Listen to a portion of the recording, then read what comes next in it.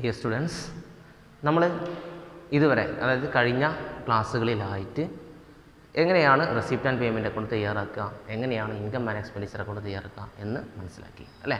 നമ്മൾ അഡ്ജസ്റ്റ്മെന്റ് ഉള്ള പ്രോബ്ലം ചെയ്തു അഡ്ജസ്റ്റ്മെന്റ് ഇല്ലാത്ത പ്രോബ്ലം ചെയ്തു അല്ലേ? ആദ്യം നമ്മൾ അഡ്ജസ്റ്റ്മെന്റ് ഇല്ലാത്ത ഒരു റെസിപ്റ്റ് ആൻഡ് പേയ്മെന്റ് അക്കൗണ്ടും അതേപോലെ തന്നെ ഒരു അതിന്റെ ഒരു ഇൻകം ആൻഡ് എക്സ്പെൻഡിച്ചർ അക്കൗണ്ടും തയ്യാറാക്കി.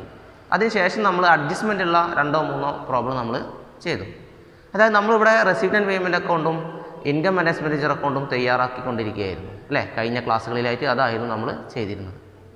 ഇനി നമുക്ക് അങ്ങനെയാണെങ്കിൽ നമുക്ക് ഇൻകം ആൻഡ് എക്സ്പെൻഡിച്ചർ അക്കൗണ്ടും അതേപോലെ തന്നെ റെസീറ്റ് ആൻഡ് പേയ്മെന്റ് അക്കൗണ്ടും തമ്മിൽ ഒരുപാട് വ്യത്യാസങ്ങൾ ഉണ്ട് എന്ന് നമുക്ക് മനസ്സിലായി അല്ലേ? അതുകൊണ്ടല്ലേ നമ്മൾ റെസീറ്റ് ആൻഡ് പേയ്മെന്റ് അക്കൗണ്ട് തയ്യാറാക്കിയിട്ട് പിന്നെ ഇൻകം ആൻഡ് എക്സ്പെൻഡിച്ചർ അക്കൗണ്ടും തയ്യാറാക്കിയത്? യാതൊരു വ്യത്യാസവും ഇല്ലെങ്കിൽ പിന്നെ നമ്മൾ ഇൻകം ആൻഡ് എക്സ്പെൻഡിച്ചർ അക്കൗണ്ട് തയ്യാറാക്കേണ്ട ആവശ്യമുണ്ടോ? ഇല്ല. അപ്പോൾ എന്തൊക്കെയോ വ്യത്യാസങ്ങൾ നമ്മൾ ചില കാര്യങ്ങൾ എടുത്തു ചില കാര്യങ്ങൾ എടുത്തില്ല.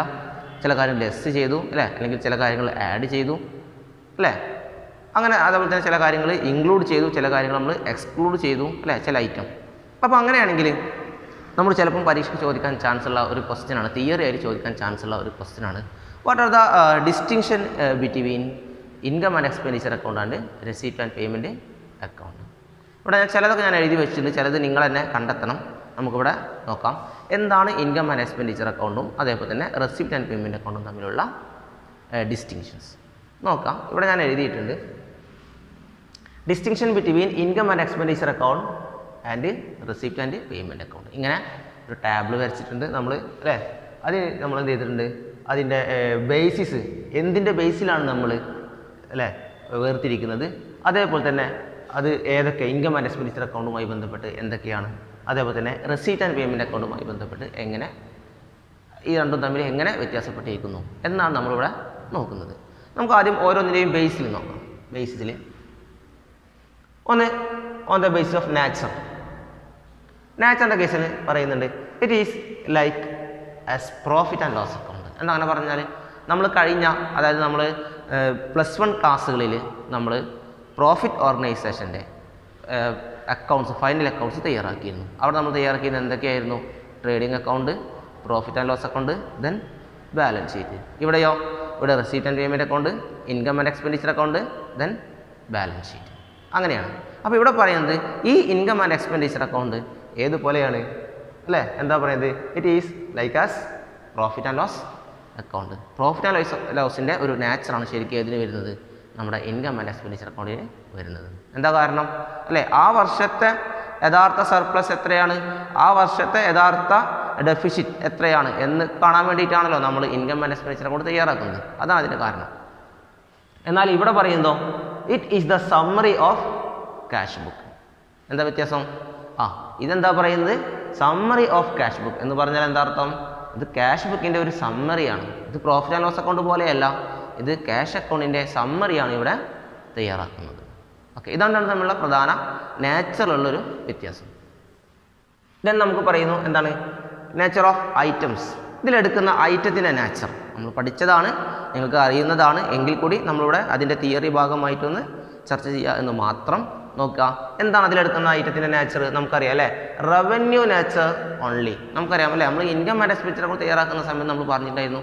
റവന്യൂ നാച്ചുറൽ ഐറ്റം മാത്രമേ എടുക്കാൻ പാടുള്ളൂ. ഏതൊക്കെയായിരുന്നു റവന്യൂ നാച്ചുറൽ ഐറ്റം ഒന്ന് ഓർത്ത് നോക്കുക. റവന്യൂ ഐറ്റം ഏതൊക്കെയായിരുന്നു? യെസ് ഏതായിരുന്നു? സബ്സ്ക്രിപ്ഷൻ ഓക്കെ ജനറൽ ഡൊണേഷൻ ഇങ്ങനെയുള്ള റെസിപ്റ്റ്സുകൾ അല്ലേ? അതേപോലെ തന്നെ പേയ്മെന്റിൽ നിന്ന് ഏതൊക്കെയായിരുന്നു നമ്മൾ റവന്യൂ നാച്ചുറായിട്ട് എടുത്തത്? ഓക്കെ സാലറി യെസ് പിന്നെ? സാലറി അതിനുശേഷം? ആ purchase of newspaper magazines ഇതൊക്കെ എന്താണ്? റവന്യൂ ഐറ്റമാണ് അല്ലേ? പിന്നെ ഏതായിരുന്നു? നമ്മൾ ഒരുപാട് റവന്യൂ ഐറ്റം നമ്മൾ പ്രോബ്ലത്തിൽ നമ്മൾ ചെയ്തതാണ്. അല്ലേ? സാലറി അതേപോലെ തന്നെ നമ്മളെ purchase of papers newspaper magazines ഇതൊക്കെ നമ്മൾ റവന്യൂ ഐറ്റമായിട്ടാണ് നമ്മൾ എടുത്തിരുന്നത്. എന്നാൽ റവന്യൂ അല്ലാത്ത ഐറ്റവും ഉണ്ട് അല്ലേ? ഓക്കെ നമുക്ക് നോക്കാം. ദെൻ അങ്ങനെയാണെങ്കിൽ റെസിപ്റ്റ് ആൻഡ് പേയ്മെന്റ് അക്കൗണ്ടിൽ എടുക്കുന്ന നാച്ചർ നാച്ചർ ഐറ്റത്തിന്റെ നാച്ചർ എന്താ പറയുന്നത്? Revenue as well as capital nature yes എന്താണ്? അവിടെ റവന്യൂ നാച്ചറും വരുന്നുണ്ട്. ക്യാപിറ്റൽ നാച്ചറും വരുന്നുണ്ട് നമുക്കറിയാം അല്ലേ? നമ്മൾ ചെയ്യുന്ന സമയത്ത് നമ്മൾ ഇൻകം മാനേജ്മെന്റ് ചെയ്യുമ്പോൾ തയ്യാറാക്കുന്ന സമയ സമയത്ത് നമുക്ക് തന്നിട്ടുള്ള റിസീപ്റ്റ് ആൻഡ് പേയ്മെന്റ് അക്കൗണ്ടിൽ എന്തൊക്കെ ഉണ്ടായിരുന്നു അല്ലേ? നമ്മൾ അതിൽ നിന്ന് റവന്യൂ ഐറ്റം വേർതിരിച്ചെടുക്കുകയാണ് ചെയ്തത്. അപ്പോൾ അവിടെ എന്തൊക്കെ ഉണ്ട്? റവന്യൂ ഐറ്റവും ഉണ്ട് അതിൽ. അതേപോലെ തന്നെ അതിലേതുണ്ട് ക്യാപിറ്റൽ ഐറ്റവും ഉണ്ട്. അതുകൊണ്ടാണ് ഇവിടെ പറയുന്നത് എന്താ പറയുന്നത്? ഇതിൽ ചേർക്കുന്ന ഐറ്റത്തിന്റെ പ്രത്യേകത പറയുന്നത് എന്താണ്? Revenue as well as capital natural അതായത് റവന്യൂ ഐറ്റവും ഉണ്ട് അത് മാത്രമല്ല ക്യാപിറ്റൽ ഐറ്റവും ഇതിൽ എടുക്കുന്നുണ്ട്. ശരിയല്ലേ? നമ്മൾ ആൻഡ് പേയ്മെന്റ് ഉണ്ടാക്കുന്ന എടുക്കുന്ന സമയത്ത് തയ്യാറാക്കുന്ന സമയത്ത് നമ്മൾ എല്ലാ റെസീപ്സും എല്ലാ പേയ്മെന്റും എടുത്തിരുന്നു. എന്നാൽ ഇൻകം ആൻഡ് എക്സ്പെൻഡിച്ചർ അക്കൗണ്ട് തയ്യാറാക്കുന്ന സമയത്തോ? ആ ആ തന്നിട്ടുള്ള റെസീപ്റ്റ് ആൻഡ് പേയ്മെന്റിൽ നിന്ന് നമ്മൾ ഏത് മാത്രം എടുത്തിരുന്നത്? ഏത് മാത്രം എടുത്തിരുന്നത്?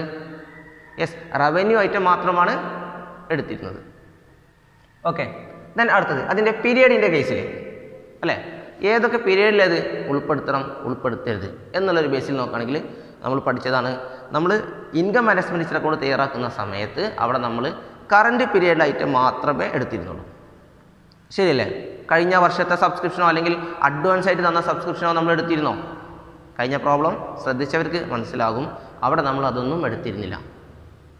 ഓക്കെ എന്നാൽ റെസിഡന്റ് പേയ്മെന്റ് അക്കൗണ്ടിലോ നമുക്ക് തന്ന റെസിഡന്റ് പേയ്മെന്റ് അക്കൗണ്ടിൽ തന്നെ ഏതൊക്കെ ഉണ്ടായിരുന്നു? രണ്ടായിരത്തി പതിനഞ്ചിലെ രണ്ടായിരത്തി പതിനാറിലെ രണ്ടായിരത്തി പതിനേഴിലെ അല്ലേ? ഇങ്ങനെയൊക്കെ എല്ലാം തന്നിട്ടുണ്ടായിരുന്നു. അതിൽ നമ്മൾ ഏത് മാത്രമാണ് എടുത്തത്? ആ വർഷത്തെ മാത്രമാണ് എടുത്തത്. മാത്രമല്ല ആ വർഷത്തെ ഇനി എന്തെങ്കിലും ആഡ് ചെയ്യാനുണ്ടെങ്കിൽ നമ്മളത് അതിന്റെ കൂടെ എന്ത് ചെയ്തിരുന്നു? ആഡും ചെയ്തിരുന്നു. അതേപോലെ തന്നെ ആ വർഷത്തെ അല്ലാത്ത എന്തെങ്കിലും ഉണ്ടെങ്കിൽ അത് നമ്മൾ അതിൽ നിന്ന് ഒഴിവാക്കിയിരുന്നു എന്ന് പറഞ്ഞാൽ അതിന്റെ അർത്ഥമാണ് എന്താ കറണ്ട് പീരീഡ് എന്ന് പറഞ്ഞാൽ ആ അക്കൗണ്ടിങ് പീരീഡ് അല്ലേ? നമ്മൾ ഏത് വർഷത്തെ അക്കൗണ്ട്സ് ആണോ തയ്യാറാക്കുന്നത്? ആ വർഷത്തെ ആ വർഷത്തെ നമ്മൾ കറന്റ് പീരീഡ് എന്ന് പറയുന്നത്. അപ്പോൾ ആ വർഷത്തെ ഇൻകം മാത്രമേ അല്ലെങ്കിൽ ആ വർഷത്തെ എക്സ്പെൻഡിച്ചർ മാത്രമേ ഇതിൽ വരുന്നുള്ളൂ. നമ്മുടെ ഇൻകം ആൻഡ് എക്സ്പെൻഡിച്ചർ അക്കൗണ്ടിൽ വരുന്നുള്ളൂ. ഓക്കെ എന്നാൽ റെസീറ്റ് ആൻഡ് പേയ്മെന്റ് അക്കൗണ്ടിലോ രണ്ടും ഏത് സമയത്ത് തയ്യാറാക്കുന്നത് രണ്ടും എപ്പോഴാണ് തയ്യാറാക്കുന്നത്? അല്ലേ? At the end of the year അല്ലെ അക്കൗണ്ടിങ് ഇയർ എന്താ? രണ്ടും ഫൈനൽ അക്കൗണ്ടിന്റെ ഭാഗമാണ്. അതുകൊണ്ട് രണ്ടും അവസാനമാണ് തയ്യാറാക്കുന്നത്. അല്ലേ? എന്നാൽ ഒന്നിൽ എന്ത് ചെയ്യുന്നു? യെസ് എന്താ ചെയ്യുന്നത്? അല്ലേ? May also relate to preceding and succeeding period എന്താ അങ്ങനെ പറഞ്ഞാൽ അല്ലേ? ആ മുന്നത്തെ വർഷത്തതും കഴിഞ്ഞ വർഷത്തതും കറണ്ട് പീരീഡ് എല്ലാം എന്ത് ചെയ്യുന്നുണ്ട്? അതിൽ ഉൾപ്പെടുന്നുണ്ട്. എന്നാൽ നമ്മുടെ ഇൻകം ആൻഡ് എക്സ്പെൻഡിച്ചർ അക്കൗണ്ടിലോ ഏത് മാത്രം വരുന്നുള്ളൂ? കറണ്ട് പീരീഡിൽ മാത്രമേ വരുന്നുള്ളൂ ഓക്കെ വ്യത്യാസങ്ങൾ മനസ്സിലായി കാണും. നമ്മൾ ആദ്യം പറഞ്ഞത് നേച്ചറിന്റെ ബേസിലാണ് അല്ലേ? പിന്നെ പറയുന്നത് നേച്ചർ ഓഫ് ഐറ്റം ആണ് വ്യത്യാസമുണ്ട്. ഇത് നമ്മൾ തയ്യാറാക്കുന്ന അക്കൗണ്ടിന്റെ നേച്ചറാണ് ഇത് നമ്മൾ തയ്യാറാക്കുന്ന അക്കൗണ്ടിൽ ഉൾപ്പെടുത്തുന്ന ഐറ്റത്തിന്റെ നേച്ചറാണ് രണ്ടും വ്യത്യാസമുണ്ട് അല്ലേ? പിന്നെ ഇവിടെ വന്ന് പീരീഡ് എന്ന് പറഞ്ഞാൽ നമ്മൾ ഏത് പീരീഡിൽ ഐറ്റം ആണ് അതിൽ ഉൾപ്പെടുത്തുന്നത് എന്നാണ് ഇവിടെ പറയുന്നത്. അതാണ് നമ്മൾ പറഞ്ഞത്. അല്ലെ ഇവിടെ കറണ്ട് പീരീഡിൽ ഐറ്റം മാത്രമേ ഉൾപ്പെടുത്തുന്നുള്ളൂ. എന്നാൽ ഇവിടെ അല്ലേ? കഴിഞ്ഞ വർഷത്തോ അല്ലെങ്കിൽ ഇനി വരാൻ പോകുന്ന വർഷത്തെ അതല്ലെങ്കിൽ ഈ വർഷത്തെ എല്ലാം എന്ത് ചെയ്യുന്നുണ്ട്? അതിൽ ഉൾപ്പെടുന്നുണ്ട്. അതെന്റെ പ്രത്യേകത.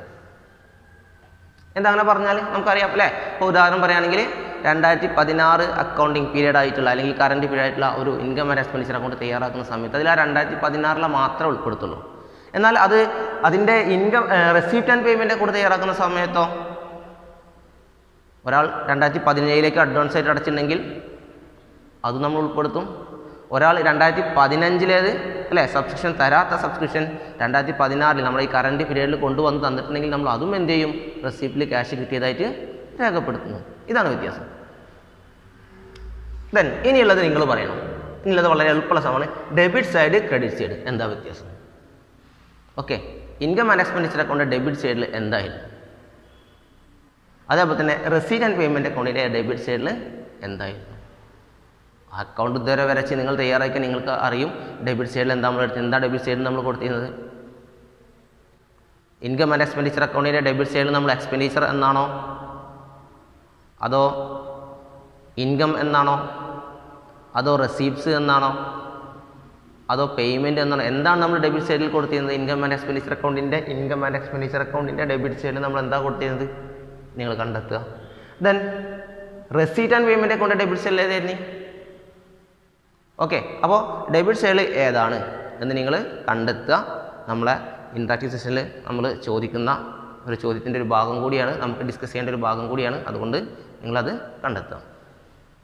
ദെൻ അടുത്തത്. ക്രെഡിറ്റ് സൈഡ് ഇതും നിങ്ങൾ പറയണം. എന്താണ്?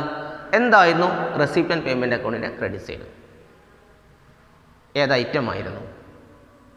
ദെൻ ഇൻകം ആൻഡ് എക്സ്പെൻഡിച്ചർ അക്കൗണ്ടിന്റെ ക്രെഡിറ്റ് സൈഡ് എന്തായിരുന്നു? അതേപോലെ തന്നെ റെസീറ്റ് ആൻഡ് പേയ്മെന്റ് അക്കൗണ്ടിന്റെ ക്രെഡിറ്റ് സൈഡ് എന്തായിരുന്നു?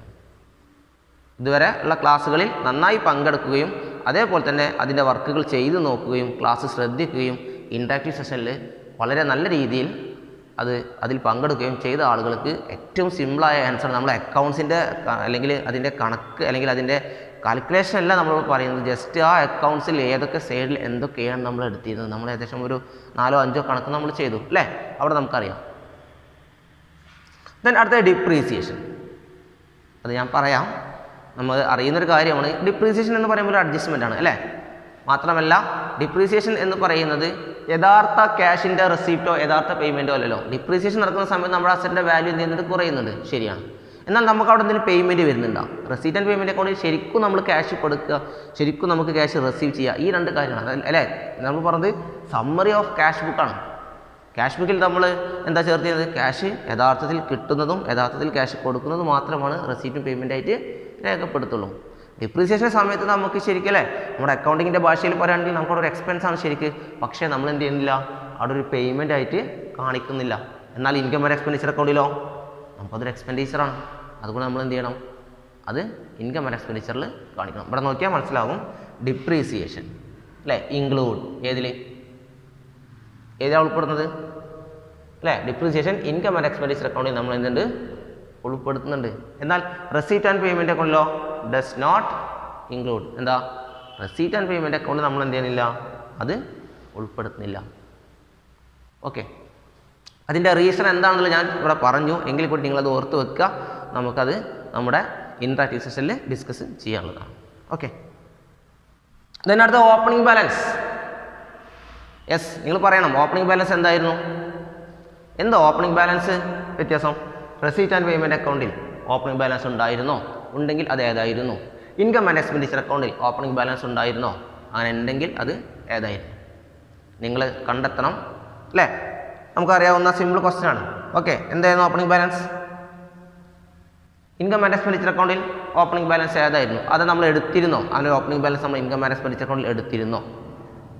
ഉണ്ടെങ്കിൽ അത് ഏതാണ്? ഇല്ലെങ്കിൽ എന്താ പറയുക അല്ലേ? There is no opening balance എന്ന് പറയാം. അപ്പോൾ നിങ്ങൾ ഉണ്ടോ? ഇല്ലേ? അതേപോലെ തന്നെ ഉണ്ടെങ്കിൽ അത് ഏതായിരുന്നു ഓപ്പണിംഗ് ബാലൻസ് ആയിട്ട് എടുത്തിരുന്നത്? ഇനി ഓപ്പണിംഗ് ബാലൻസ് ഇല്ലെങ്കിൽ ഇതിൽ നിങ്ങൾ എന്ത് ചെയ്യുക? ആൻസർ അവിടെ ഓപ്പണിംഗ് ബാലൻസ് ഇല്ല എന്ന് രേഖപ്പെടുത്തുക. There is no opening balance then receipt and payment അക്കൗണ്ടിൽ ഓപ്പണിംഗ് ബാലൻസ് എടുത്തിരുന്നെങ്കിൽ യെസ് എഴുതിയാൽ പോരാ. എന്താണ് ഓപ്പണിംഗ് ബാലൻസ് അവിടെ സൂചിപ്പിച്ചിരുന്നത്? എന്ന് പറഞ്ഞാൽ ഓപ്പണിംഗ് ബാലൻസ് ആയിട്ട് നമ്മൾ എടുത്തിരുന്നത് അല്ലെങ്കിൽ അവിടെ എഴുതിയിരുന്നത് എന്തായിരുന്നു? അക്കൗണ്ടിങ് ഇയറിലെ തുടക്കത്തിലുള്ള അറ്റ് ദ ബിഗിനിങ് ആണോ? At the end of the year ആണോ? അതേപോലെ തന്നെ ആ ബാലൻസ് എന്താണ് സൂചിപ്പിച്ചിരുന്നത് എന്ന് കണ്ടെത്തുക. ഓക്കെ ദെൻ നെക്സ്റ്റ് പറയുന്നത് ഇതേപോലെ closing balance income and expenditure അക്കൗണ്ടിന് closing ഉണ്ടായിരുന്നു. നമ്മൾ അക്കൗണ്ടൊക്കെ തയ്യാറാക്കിയ അവസാനം നമ്മൾ ബാലൻസ് ചെയ്തിട്ട് ക്ലോസ് ചെയ്തിരുന്നു. അതോ നമ്മൾ അങ്ങനെ തന്നെ എഴുതി വെക്കുകയാണോ ചെയ്തത്? ഇനി നമ്മളെ ക്ലോസിങ് ചെയ്തിരുന്നെങ്കിൽ നമ്മൾ ആ ക്ലോസ് ചെയ്യുന്ന സമയത്ത് നമുക്ക് കിട്ടിയത് നമ്മൾ എന്താണ് വിളിച്ചിരുന്നത്?